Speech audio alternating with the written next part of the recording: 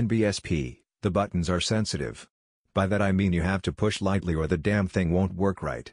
Also make sure you have a high quality SD card, minimum 8 gig, max 64 gig. Slow format the card using 32-bit format. The two pictures are of me holding the scope, no rifle mounted. The picture with the truck is on 5x, the picture with no vehicle is 20x. The picture quality goes to crap at that distance which was about 2100 feet.